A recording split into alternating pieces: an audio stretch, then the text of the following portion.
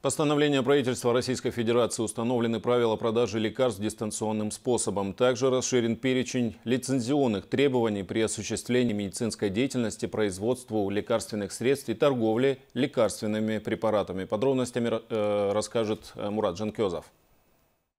В условиях распространения коронавируса, введенных ограничений и самоизоляции, дистанционная продажа лекарственных средств особенно актуальна. 16 мая правительство страны приняло постановление, в котором утверждены правила доставки лекарств. Однако речь идет только о безрецептурных препаратах. Дистанционно разрешается осуществлять розничную торговлю лекарственными препаратами, за исключением лекарств, отпускаемых по рецепту врача, наркотических и психотропных веществ, а также препаратов, в составе которых доля этилового спирта превышает 25%. Осуществлять дистанционную торговлю лекарственными препаратами разрешено аптечным организациям, которые имеют лицензию на осуществление фармацевтической деятельности. И аптечные организации должны владеть этой лицензией на протяжении не менее чем один год.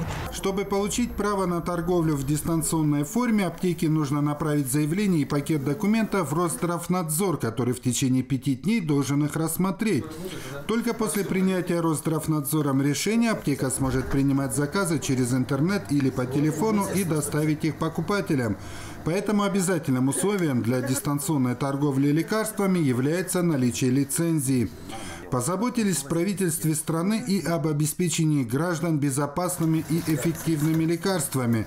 В этих целях приняты сразу три постановления, которыми расширен перечень требований, предъявляемых к лицензиатам. Относительно производителей лекарственных препаратов установлено новое лицензионное требование, которое выражается в необходимости внесения информации о зарегистрированных лекарственных препаратах в единую систему мониторинга движения лекарственных препаратов.